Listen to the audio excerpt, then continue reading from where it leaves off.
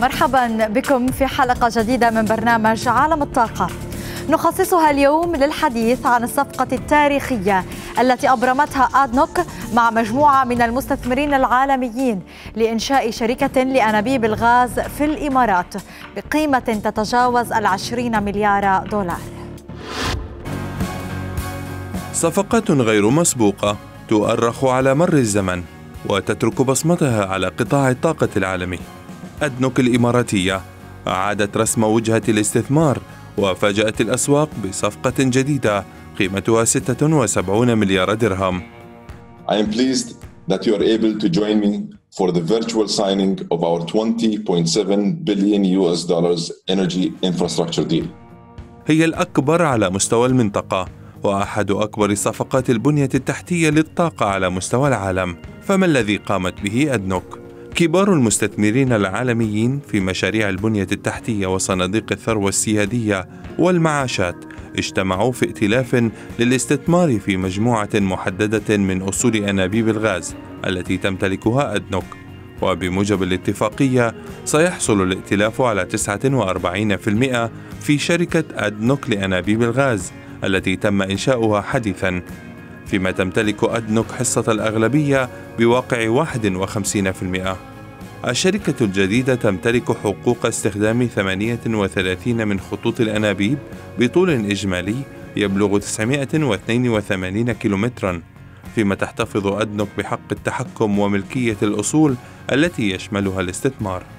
الاتفاقية تمتد لعشرين عاماً.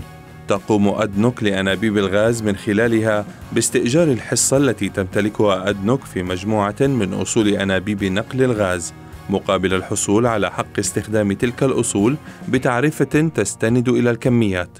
وتحقق هذه الاتفاقية عائدات فورية لأدنوك تبلغ 37 مليارا و100 مليون درهم.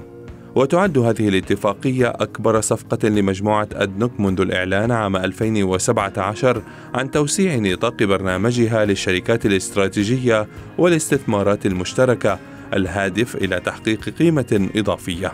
ورغم الظروف الاستثنائية التي يمر بها العالم، تستمر أدنوك التي تعد واحدة من أهم شركات الطاقة في العالم على صعيد التصنيف الائتماني في استراتيجيتها للغاز ودعم أهداف أبو ظبي في هذا القطاع الحيوي من خلال إتاحة الفرص أمام المستثمرين في أصول البنية التحتية للطاقة منخفضة المخاطر وتحقق تدفقات نقدية مستقرة وطويلة الأجل.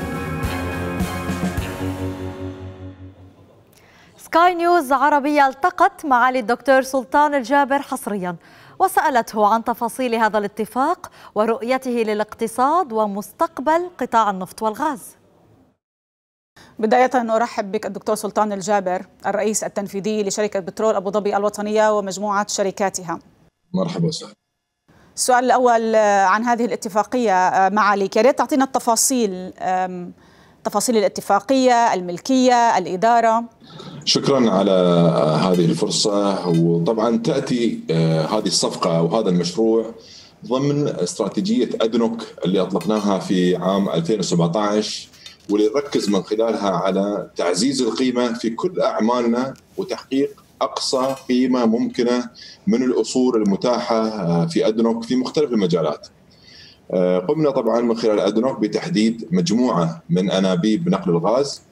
ومن خلال هيكلية ذكية تم تجميع هذه الأنابيب تحت مظلة واحدة تم تقييمها من خلال عدة مراحل بأكثر من 76 مليار درهم واستقطبنا مجموعة من المستثمرين لمشاركتنا في نسبة 49% من هذه المجموعة من الأنابيب مقابل 37 مليار درهم.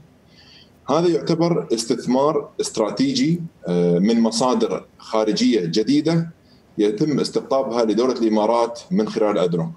مدة هذه الاتفاقية هي 20 سنة مع احتفاظ ادنوك بكامل حقوق التحكم والإدارة والتشغيل. طبعا هذه الصفقة أو هذا المشروع هو نموذج جديد لاستراتيجية ادنوك في خلق القيمة من الأصول التابعة لها والقدرة الخاصة لادنوك على استقطاب استثمارات أجنبية مباشرة لدولة الإمارات. دكتور صفقة بهذا الحجم وفي هذه الظروف بالتحديد تثير بعض التساؤلات. يمكن على رأسها إمكانية أدنوك ونجاحها في إتمام هذه الصفقة. وثانيا الدافع وراء هذه الصفقة أيضا. نعم نعم. النجاح في استقطاب مستثمرين استراتيجيين من هذا النوع هو تأكيد على تميز الأصول التابعة لأدنوك والمصداقية والتاريخ العريق والعلاقات المباشرة مع الشركاء في مختلف أنحاء العالم. وكذلك على قدرة أدنوك في تصميم ووضع هيكلة استثمارات ذكية تحقق عوائد جيدة ومستدامة لكل الأطراف المشاركة. بالنسبة لنا هذه فرصة لاستقطاب الاستثمارات الاستراتيجية الخارجية المباشرة وإعادة توظيفها في مشاريع النمو والتطوير حسب استراتيجيتنا للنمو الذكي. وهذه الصفقة بالذات نموذج ناجح لمد جسور التعاون والتواصل وتعزيز العلاقات والشراكات المثمرة والناجحة مع العالم. لا ننسى أيضا موثوقية ومصداقية دولة الإمارات. وسجلها الحافل باحترام شراكاتها في مختلف المجالات وكذلك تاريخ الدولة وإمكانيتها وتنافسيتها في استقطاب الاستثمارات الأجنبية الاستراتيجية المباشرة وامتلاك الدولة لمنظومة تشريعية قانونية متكاملة ومتطورة. هذه كلها عوامل تساعد في جذب هذا النوع من الشركاء وهذه المجموعة المميزة من الشركاء المستثمرين الأجانب. أما بالنسبة للتوقيت والظروف فمن بداية أزمة كورونا ركزنا في أدنوك على استمرارية الأعمال والإنتاجية في كل أنشطتنا. وتعتبر هذه الصفقة جزء من استراتيجيتنا لخلق وتعزيز القيمة. وبدأنا العمل على هذا المشروع بالذات في الربع الثالث من العام الماضي. يعني بدأنا في الربع الثالث من عام 2019 بس في الأشهر الأخيرة ضاعفنا جهودنا وركزنا وتواصلنا مع الشركاء لإنجاز هذا المشروع. من غير ما نسمح لأي ظرف بالتأثير على مجريات الأعمال. وأكيد كان هناك دور أساسي ومشكور لفرق العمل في أدنوك. اللي كانت لها استجابة مباشرة وجدا إيجابية. وضاعفوا جهودهم لإتمام هذه الصفقة وتحقيق الأهداف المطلوبة. معاليك كما ذكرت هناك تأثير بالتأكيد لجائحة كورونا على وضع الاقتصاد العالمي. وهنا بهمنا نعرف رأيك بوضع الاقتصاد العالمي في المرحلة القادمة وخصوصا قطاع النفط والغاز الذي كان من القطاعات المتأثرة بإجراءات العزل وبالتالي ضعف الأنشطة الاقتصادية بشكل عام اللي أدى إلى ضعف الطلب على الطاقة عالميا نعم مثل ما تعرفين نحن دائما وابدا على تواصل وثيق مع الاقتصاديين والمؤسسات المالية وكذلك شركائنا الاستراتيجيين في قطاع النفط والغاز. ومثل ما تعرفين استضافت أدنوك الأسبوع الماضي ملتقى أبو ظبي للرؤساء التنفيذيين لشركات الطاقة. ناقشنا معاهم أوضاع الاقتصاد وبالذات أسواق النفط والغاز. كان هناك إجماع على وجود مؤشرات لبدء عودة النشاط في مختلف أنحاء العالم وهذا ساهم في عودة ارتفاع الطلب على النفط لكن طبعا لا يزال من المبكر تحديد المسار المستقبلي للاقتصاد وبشكل دقيق أما في الوقت الحالي البيانات من الصين وأوروبا وشمال أمريكا تشير إلى بدء عودة الطلب على النفط وبالفعل هناك تحسن في أداء الأسواق وكان بطبيعة الحال لاتفاق أوبك بلس دور إيجابي ودور كبير في هذا الموضوع في تحقيق هذا التوازن في الأسواق. لابد من مرور بعض الوقت حتى يرجع نشاط الاقتصاد العالمي وأسواق النفط إلى المستويات الطبيعية لكن المؤشرات الحالية تدفعنا وتدعونا إلى التفاؤل والإيجابية. كيف هي الأمور في أدنوك؟ هل هناك أي تأثر في ظل ظروف الاقتصاد الحالي؟ طبعا من أربع سنوات بدأت أدنوك بنقلة نوعية شاملة تشمل من خلالها جميع النواحي المالية والفنية والتشغيلية والإنتاجية وكذلك الثقافة المؤسسية. وبدأنا بالفعل نجني ثمار هذه النقلة وأصبحت الشركة اليوم قادرة على التعامل مع المتغيرات والمستجدات في الأسواق وبطريقة أفضل وأكثر مرونة. والحمد لله اليوم وضع ادنك ممتاز في جميع المجالات لأن هذه النقله النوعية ساهمت في تعزيز قوة الشركة ومرونتها وقدرتها على التعامل مع مختلف المتغيرات والتحديات. وادنك مستمرة حسب آه، توجيهات القيادة في مشاريعها وخططها وأهدافها مع التركيز على رفع الكفاءة وخفض التكاليف وتعزيز القيمة وبالتأكيد المحافظة وبشكل رئيسي وأساسي على صحة وسلامة كوادرنا البشرية.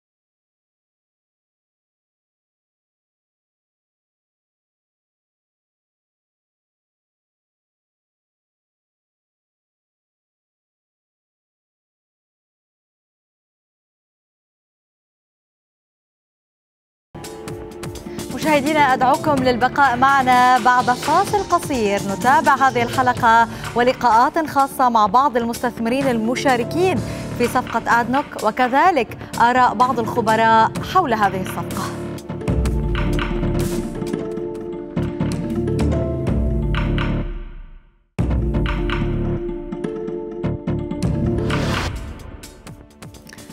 أرحب بكم مجددا في عالم الطاقة. رئيس مجلس الإدارة والعضو المنتدب لل GIP أديبايو أوغونليسي أحد المشاركين في صفقة آدنوك. أكد على أن الدخول في هذه الصفقة يشكل فرصة استثمارية رائعة. نتابع. نتعامل في شركة جي آي بي مع قرابة 70 مليارا من الأصول لصالح أكثر من 300 مؤسسة حول العالم. نهدف إلى العمل مع شركات رائدة لإدارة بعض أصولها في البنى التحتية. وفي اتفاقنا مع شركة أدنوك الذي يشمل خمس شركات أخرى نستثمر ب 49% في شركة أنشئت حديثا لأنابيب الغاز. وتتماشى هذه العملية مع أهداف الشركة. يشكل هذا الاتفاق المشروع المشترك الثامن عشر عبر مختلف القطاعات منها قطاع الطاقة. أما فرصة الشراكة مع أدنوك إحدى شركات الطاقة الرائدة عالميا في هذا المجال فهي جاذبة كثيرا لنا. حدثنا أكثر. لماذا تم اختيار أدنوك؟ وأبو ظبي بالتحديد خصوصا إنه هذه الشراكة آه، سوف تكون باسيتس يعني بأنابيب غاز آه، ضمن الإمارات العربية المتحدة. Now, of course, this is not the first uh, إنه ليس الاستثمار الأول لنا في الإمارات. لقد استثمرنا في محطة للحاويات لكن فيما يتعلق بهذه الأصول بالذات ما من شك في أن أبو ظبي والإمارات تشكل وجهة استثمارية جاذبة وبيئة مستقرة جدا وتملك نموا اقتصاديا قويا. وحين ننظر إلى هذه العمليات والشراكة مع أدنوك على وجه الخصوص علما أنها كما ذكرت إحدى شركات الطاقة الرائدة في العالم التي اتبعت استراتيجية استثمارية ذكية ومنها تحرير رؤوس الأموال من بعض أصول البنى التحتية. فكما تعرفون أتمت الشركة اتفاقا لأنابيب النفط العام الماضي وأعادت أدنك استثمار رؤوس الأموال هذه في شركات جاذبة أخرى تملكها. وبالتالي الفرصة التي سنحت أمامنا للشراكة مع أدنك والاستثمار في أصول الأنابيب مستقرة وتولد تدفقات مالية موثوقة مع شريك رائد في هذا القطاع وفي العالم. هي فرصة نريد الاستثمار فيها وكما قلت تشكل أبو ظبي بحد ذاتها وجهة جاذبة جدا للاستثمارات. أما شركة بروكفيلد أحد المستثمرين أيضا في المشروع أكدت ثقتها بتحقيق عوائد مجزية مشيرة إلى أن الاستثمار في الإمارات ومع شريك كأدنوك يبعث على الاطمئنان. Um, I'll start with saying that we نحن نستثمر في نحو 30 دولة حول العالم وعندما نريد الاستثمار ننظر إلى ثلاثة شروط رئيسية. أولها أن تكون الدولة تحترم الاستثمار الأجنبي وتوفر الظروف المواتية. وثانيا أن يكون لدينا القدرة على تنمية استثماراتنا وإنجاز الصفقات في تلك الدولة. أما الشرط الأخير فهو وجود أصول عالية الجودة تتوافق مع معاييرنا للاستثمار وفي حالة الإمارات فهي بالتأكيد تلبي كافة هذه المعايير. نحن نتواجد في الإمارات منذ 15 عاما ويعمل لدينا نحو 1500 شخص في دبي وأبو ظبي كما أننا نستثمر في المنطقة أيضا منذ خمس سنوات في قطاعات كالعقارات والبنى التحتية. لطالما كنا مرتاحين للاستثمار في الإمارات الفرصة مع أدنك مذهلة. لأنها شركة طاقة رائدة عالميا وأصول أنابيب الغاز التي استثمرنا بها مهمة للغاية فهي تحقق مجموعة من المزايا. استثمار طويل الأجل في بنية تحتية هامة بالشراكة مع لاعب رئيسي في قطاع الطاقة وفي دولة تهيئ لنا الظروف المواتية ونعمل بها منذ أكثر من عقد من الزمن. كان موليس المؤسس والرئيس التنفيذي لشركة موليس أند كومباني قال إن الصفقة الضخمة التي أبرمتها آدنوك مع مستثمرين عالميين تعكس ثقة المستثمرين بالإمارات وبآدنوك وإدارتها. أعتقد أن هذا مؤشر رائع للمنطقة لأدنوك ولأبو ظبي. وهو يظهر جاذبية أصول المنطقة وهو استمرار لأدنوك في تطبيق استراتيجيتها التي وضعتها قبل عامين لجذب الاستثمارات الأجنبية المباشرة. وهذا يظهر بأنه إذا كان لديك أصول جيدة فالعالم مهتم جدا بأصول البنية التحتية والجودة ولديه الإرادة للاستثمار. إنها رسالة رائعة المنطقة جذابة ومستقرة. أعتقد أيضا أنها تدل على تفوق إدارة أدنوك والرسالة هي بأن رأس المال في أيد أمينة. هذا الاستثمار معتبر وطويل المدى لبعض أفضل المستثمرين في العالم وهم عادة لا يضعون رأس المال في أيادي آخرين لمدى طويل. وعلينا أن نتذكر أن الحصة هي أقلية اذا هم يثقون باستثمار رأس مالهم على مدى طويل في هذه المنطقة. في هذه الأصول من أجل الاستقرار وقلة التقلبات. أعتقد أن هذا مؤشر رائع للمنطقة ولإدارة ادنك في طريقة تطبيقها لخطتها. هل هذا يشجع الفكرة السائدة الآن بأنه الاستثمار الآن في البنى التحتية للطاقة قد يكون أكثر أمانا وأفضل حاليا من الاستثمار بالطاقة نفسها خصوصا إذا ما وضعنا بعين الاعتبار آه، التقلبات اللي عم بتصير على أسعار الطاقة؟ أعتقد أننا نتحدث عن نوعين من الاستثمار. في البنية التحتية المخاطر أقل والتقلبات أقل. يمكن الاعتماد على عائدتها في المدى الطويل ولكن الشيء المثير للاهتمام فيما يخص الاستثمار في الطاقة هو أنه يخضع للمضاربة وهو مختلف جدا بالنسبة للمخاطر. ولكن أتفق معك بأنه سيكون هناك وقت يصبح الاستثمار في الطاقة مثير جدا للاهتمام لأن كوكبنا سيزيد من استعماله للطاقة ولكنه استثمار مختلف تماما عن الاستثمار في البنية التحتية والذي يعتبر قليل المخاطر ومستقر على المدى الطويل. أيضا وحول صفقة أدنوك سكاي نيوز عربية استطلعت آراء بعض الخبراء. لنتابع. إنها صفقة مهمة وجزء من برنامج أدنوك الذي يمنحها القدرة على جذب رؤوس الأموال للإمارات وأبو ظبي ويسمح لها في الوقت نفسه بإعادة تدوير رؤوس الأموال التي تكون مقيدة في البنى التحتية وموارد الطاقة ومن ثم إعادة استخدامها في استثمارات منتجة تدعم النمو الاقتصادي. بشكل عام هذه استثمارات طويلة المدى. نحن نتكلم الآن عن 20 سنة ولكن هناك عقود 20 ووجدنا هناك عقود أخرى ليس في أدنك طبعا ولكن حول العالم ب 50 سنة للبنية التحتية آه، في بعض المدن. آه، فلا تتأثر بما يحصل في الفترات القصيرة سواء مدة شهور أو مدة سنة أو سنتين. لذلك يجب النظر إلى هذا المشروع على أنه 20 سنة أو أكثر وبالتالي لا تأثير على جائحة كورونا في هذا الموضوع. أعتقد أن أدنوك بهذه الصفقة تؤكد استمرار استراتيجيتها الهادفة لتعزيز دورها كشركة طاقة عالمية من خلال عقد شراكات مع الشركات الكبرى وتعظيم الاستفادة من موارد الطاقة التي تمتلكها. عبر وضعها في مشاريع مشتركة والسماح للشركات الخاصة بلعب دور أكبر في تطوير وتوزيع الموارد الطبيعية الضخمة التي تمتلكها أدنوك أعتقد أنه استثمار جدا واعد وحتى لو كان هنالك حاليا انخفاض في أسعار الغاز الطبيعي بسبب الأزمة العالمية اللي مرها حاليا لكن أعتقد أنه في السنين القادمة مع تحسن أسعار البترول وتحسن الطلب والنمو الاقتصادي العالمي أعتقد سنشاهد ثمار هذه الاستثمارات. على المدى الطويل الطلب على الطاقة سيبقى والعوامل ذاتها التي أثرت على النفط والغاز في السابق ستعود لكنها ستأخذ بعض الوقت. وبالتالي من الطبيعي أن نشاهد استثمارات طويلة الأجل في القطاع على عكس الاستثمار على المدى القصير الذي قد تكون قرارات الاستثمار فيه صعبة حاليا. في عالم يشهد الكثير من التغيرات تبرز أهمية التخطيط الاستراتيجي الذي يتضمن رؤية محددة واهدافا واضحة. ففي الإمارات اعتمد المجلس الأعلى للبترول العام الماضي خطة عمل شركة أدنوك وزيادة استثماراتها الرأسمالية إلى 486 مليار درهم بين عامي 2019 و 2023 خطة عمل أدنوك تهدف إلى تحقيق النمو والتوسع في مجالات الأعمال كافة. بما في ذلك الاستكشاف والتطوير والإنتاج والغاز والتكرير والبتروكيماويات.